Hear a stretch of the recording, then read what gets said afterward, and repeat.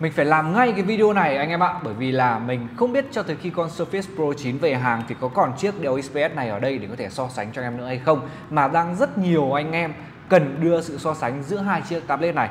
Chính là vì vậy mà hôm nay chúng ta sẽ cùng đi so sánh hai mẫu máy Dell XPS 9315 2 2022 và Surface Pro 9 phiên bản 2022 Để xem đâu sẽ là chiếc máy xứng đáng lựa chọn hơn nhá. Bắt đầu thôi. Trước tiên thì mình xin giải thích với em như thế này Về thiết kế thì hay là màn hình ấy, thì Surface Pro 8 và Pro 9 gần như không sự chênh lệch nhau là nhiều cho nên là hôm nay thì mình sẽ mang lên đây chiếc Surface Pro 8 để cho anh em có thể dễ dàng hình dung ra hơn nhá. Còn mình sẽ không mang hai chiếc máy này đi so sánh với nhau mà mình sẽ so sánh phiên bản Pro 9 cơ bởi vì chúng ta đã có rất là nhiều thông tin về chiếc máy đó rồi mà đúng không nào. Ok, thì bây giờ đây chúng ta sẽ cùng đi nói có một chút về cái thiết kế bên ngoài trước đã. Nhìn qua chúng ta có thể thấy rõ ràng rằng là Dell họ thực sự đã cho ta một thiết kế nó rất mới và rất đẹp phá cách hoàn toàn so với cả nguyên bản đeo trước đó. Một thiết kế vuông vức, rất sang chảnh và rất đẹp, đúng không nào? Trong khi đó thì với Surface Pro 9 chúng ta sẽ có một thiết kế vẫn sử dụng lại cái thiết kế cũ. Nó hơi bo cong một chút và tất nhiên là nó vẫn rất đẹp, nó vẫn rất thẩm mỹ. Mình không phủ nhận điều này, anh em nhé cho nên là để đánh giá xem chiếc máy nào đẹp hơn thì mình nghĩ rằng là anh em hãy tự đưa ra cái quan điểm của cá nhân mình về cái việc này, bởi vì là tùy theo gu thẩm mỹ của mỗi người mà thôi, đúng không nào? Chúng ta sẽ đi so sánh một cái thứ rất là trực quan, đấy chính là về kích thước cũng như là về cái cân nặng của em nó. Ok, chúng ta có thể thấy rằng là với chiếc Surface Pro 9 sẽ cho chúng ta cái độ mỏng là 0,93 cm và trọng lượng sẽ là 879 g, khá nhẹ đúng không nào? Và nó cũng khá mỏng nữa. Nhưng Dell XPS còn cho chúng ta thông số ấn tượng hơn cơ anh em ạ. Em nó sẽ cho chúng ta độ dày chỉ là 0,74 cm. Mỏng hơn rất nhiều đúng không nào? Và hơn nữa là trọng lượng của nó cũng chỉ có là 736 g mà thôi. Cũng nhẹ hơn rất nhiều nữa. Ơ nhưng mà khoan, đây là trọng lượng riêng của máy mà chưa đi kèm với cả bàn phím type cover hay là folio ở đây. Ok vậy thì khi đi kèm bàn phím trọng lượng của nó sẽ thay đổi như thế nào? Nó lại lật kèo anh em ạ nó lại lật kèo. Lúc này thì trọng lượng của chiếc Dell XPS sẽ là 1,3 kg. Trong khi đó để Surface Pro 9 sẽ chỉ có trọng lượng lúc này chỉ là 1,19 kg mà thôi nhẹ hơn rất nhiều. Ok mà chúng ta biết đấy chiếc Dell XPS này em nó không cho chúng ta cái chân đế. Chính vì thế mà gần như bắt buộc em nó sẽ phải sử dụng thêm cái phần bàn phím để dựng đứng được chiếc máy này hoạt động ở tư thế đứng. Còn không, bắt buộc hoàn toàn thời gian chúng ta sử dụng sẽ là phải ở tư thế cầm máy rất là mỏi đúng không nào? Thì đó, cái việc so sánh khi mà có thêm bàn phím nó là cái điều cần thiết. Và lúc này thì chiếc Surface Pro 9 sẽ cho chúng ta trọng lượng nó là nhẹ hơn anh em nhé rất hợp lý đấy. Tiếp theo thì mình sẽ đi so sánh qua một chút nữa về cái thiết kế của hai chiếc máy này. Về thiết kế thì phải nói thật là về gu thẩm mỹ của mỗi người như nãy mình đã nói ở đấy Chiếc nào đẹp hơn tùy đánh giá của mỗi người nhá. Nhưng mà anh em thể thấy này với cái chiếc Surface Pro 9 họ sẽ cho chúng ta cái camera sau nó là chìm ở dưới mặt lưng và nó có cái độ phân giải lên tới là 10 megapixel. Trong khi đó thì với camera 11 megapixel của chiếc Dell XPS này, em nó lại lồi lên và to hơn khá khá nhiều. Đây là một điểm mình thấy khá đáng tiếc chiếc máy này. Họ làm chiếc camera này có vẻ khá là trau chuốt và cẩn thận khi mà bo cong, đấy chính là cái viền thép này cũng như là ở bên trong thì sẽ là mắt kính, nói chung một kích thước khá lớn. Tuy nhiên nó lại khá lồi. Nó lồi lên khá nhiều. Nó làm cho mình cái cảm giác cái mặt lưng nó không còn sự liền mạch nữa. Đó, thì ở mặt lưng có lẽ cái điểm mà khiến cho mình cảm thấy chê nhất đấy chính là chiếc camera mà thôi. Còn lại thì mọi thứ họ đều làm nó rất là ok. Hơn nữa là với cái phần bàn phím folio này, có cái phần nắp lưng ở đằng sau có thể đậy luôn đi cả cái phần mặt lưng của chiếc XPS và giúp bảo vệ chiếc máy này tránh khỏi những cái va đập, những cái xước sát các thứ trong thời gian chúng ta sử dụng hoặc là di chuyển. Trong khi đó thì với Surface, họ vẫn dùng cho ta cái phần bàn phím type cover cho nên là cái việc đóng lại hay là mở ra thì nó cũng không thể bảo vệ được phần mặt lưng này. Và chúng ta sử dụng trong thời gian dài thì chắc chắn là sẽ gặp hiện tượng xước sát cũng như là bong chóc đúng không nào anh em? Ok đó là những cái hạn chế nho nhỏ của cái phần bàn phím ở trên cái chiếc máy này. Và nhân tiện so sánh về cái phần bàn phím ấy thì mình cũng có một số những cái điểm mà mình cần nói ở đây. À, với chiếc Dell XPS thì họ cho chúng ta cái phần bàn phím là đặt bệt xuống mặt bàn chứ không có thể thay đổi được góc gõ phím như là trên chiếc Surface. Trên Surface chúng ta cho chúng ta hai cái góc gõ phím em nhé. Một góc là nâng lên như thế này. Đấy. Nâng phần bàn phím lên. Còn một góc là nhấc nó ra và đặt bề xuống mặt bàn. Đó. Có thể linh hoạt như thế này cơ mà. Và mình thích điều này hơn, rõ ràng thôi. Hơn thế nữa là với những cái phần bàn phím của Surface Pro 9 thì sẽ có một cái ô để bút Slim Pen ở phía bên trong đó luôn mà chúng ta sẽ không lo hiện tượng bị rơi mất bút. Trong khi đó thì đeo đặt chiếc bút rất to ở bên ngoài và có thể cắm sạc ở trên này. Nó cũng là một cái hay đấy, nhưng mà cái việc nam châm hút và có thể dễ dàng rơi ra ngoài mà. Cho nên là điểm này thì mình thấy là chúng ta cũng cần cân nhắc, anh em nhé mất chiếc bút này là cũng hơi bị đau đầu đấy. Cỡ chừng độ hơn hai củ mà. Ok, đó, chúng ta đã vừa đi so sánh qua một chút về thiết kế bên ngoài. Tiếp theo là so sánh về màn hình. Thì về màn hình, hai chiếc máy này gần như là có thông số màn hình khá tương đồng với nhau ở mọi mặt. Khi mà cho chúng ta màn hình 2880 nhân 1920 tỷ lệ khung hình là 3 chia 2 đều là tương đồng với nhau. Ờ, với độ phân giải như thế, nó đã rất là sắc nét rồi và với độ phủ màu đạt 100% sRGB trên cả hai máy, nó đều rất là ok rồi.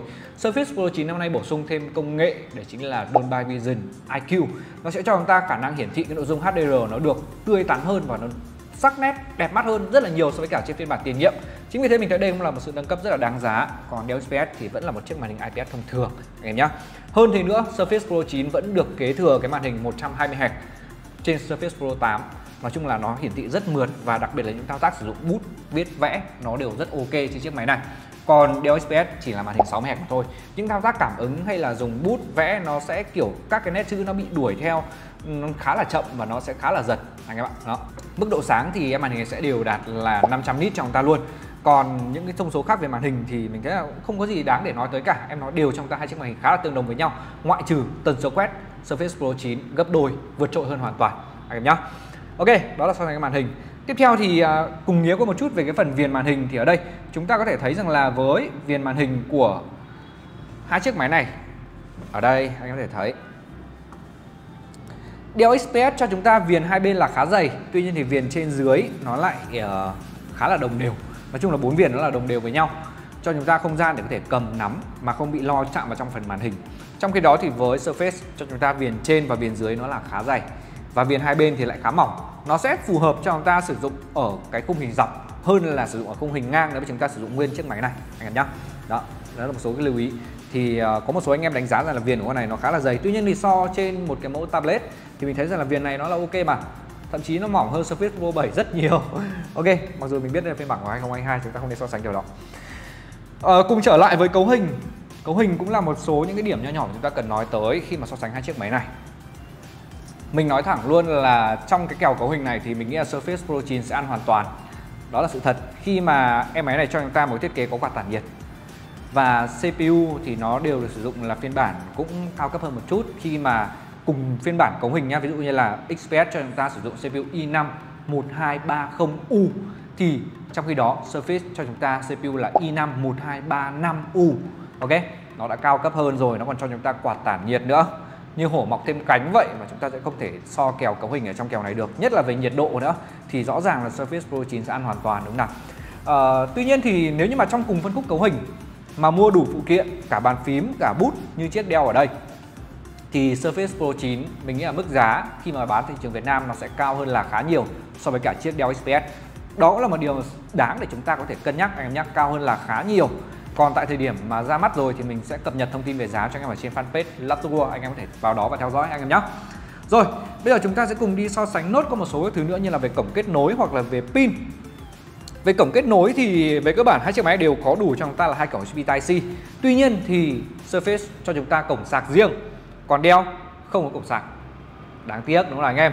Hơn thế nữa nhá, cái sạc của những chiếc Surface ở đây rất là thông minh, nó là cái cái dạng sạc tương tự kiểu MagSafe ấy, tức là nó sẽ sử dụng nam châm để gắn vào đây và khi mà chúng ta muốn rút ra chúng ta chỉ cần nhấc cái sạc ra rất nhẹ nhàng mà thôi, chứ không phải là cắm rút cắm rút. Tạp hơn, đúng không nào? Nó sẽ an toàn hơn chiếc máy chúng ta rất là nhiều. Ok. Ngoài ra nữa thì Surface bổ sung thêm cho chúng ta cả cổng audio 3.5 nữa. Còn XPS thì tất nhiên là không có rồi. Chúng ta sẽ được tặng kèm thêm một cái cổng chuyển đổi C, đầu ra là 3.5 Ok, tiếp theo hãy cùng mình đi so sánh về pin ở trên chiếc Surface Pro 9 trong ta viên pin là 47,7 Wh dung lượng pin tối đa còn với XPS sẽ trong ta viên pin là 49,5 Wh cũng là một chút sự chênh lệch đúng không nào? Đeo cao hơn thì rõ ràng trong kèo này đeo thắng rồi đúng không nào?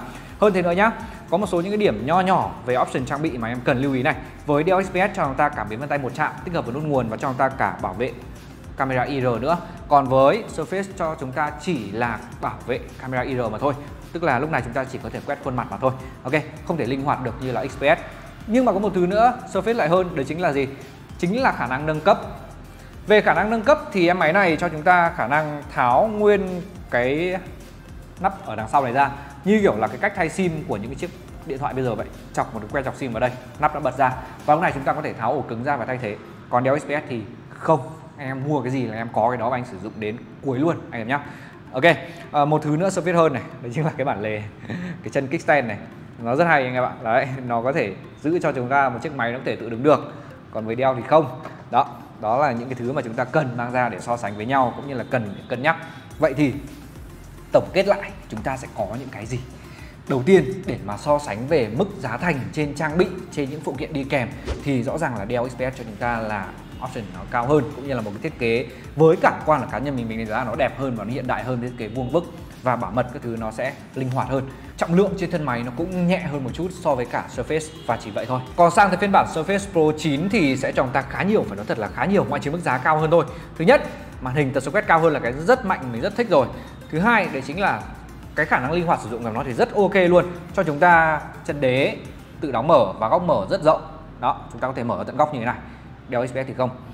Tiếp theo nữa là bàn phím trong ta, cái khả năng linh hoạt, góc gõ phím, điều này cũng là rất ok rồi. Rồi anh em cổng kết nối nhiều hơn, khả năng nâng cấp tối ưu hơn. Ok. Và đó đó là những ưu điểm rất lớn của những chiếc Surface. Và Surface Pro 9 năm nay thì bổ sung thêm cho ta thuật toán có thể xóa phông trong những cuộc hội họp, những cuộc video call. Và màu sắc các thứ này nó cũng đẹp đẹp hơn, cũng như là về cái khả năng voice focus của nó uh, cái mic thu âm của nó có thể focus vào giọng chúng ta và lọc đi tất cả các tiếng ồn thì mình thấy đây là những cái điểm rất phù hợp dành cho doanh nhân. Vậy thì anh em theo anh em thì đâu sẽ là một chiếc máy đáng mua hơn? Nếu như mà so cùng phân khúc giá thì hãy để lại bình luận ở phía bên dưới phần bình luận ở video này cho mình biết anh em nhé và anh em sẽ lựa chọn chiếc máy nào? Đừng quên subscribe cho Laptop World cũng như là hãy nhấn vào nút like và nút chuông để không bỏ lỡ video mới nhất anh em nhé còn bây giờ thì xin chào và hẹn gặp lại anh em trong những video tiếp theo.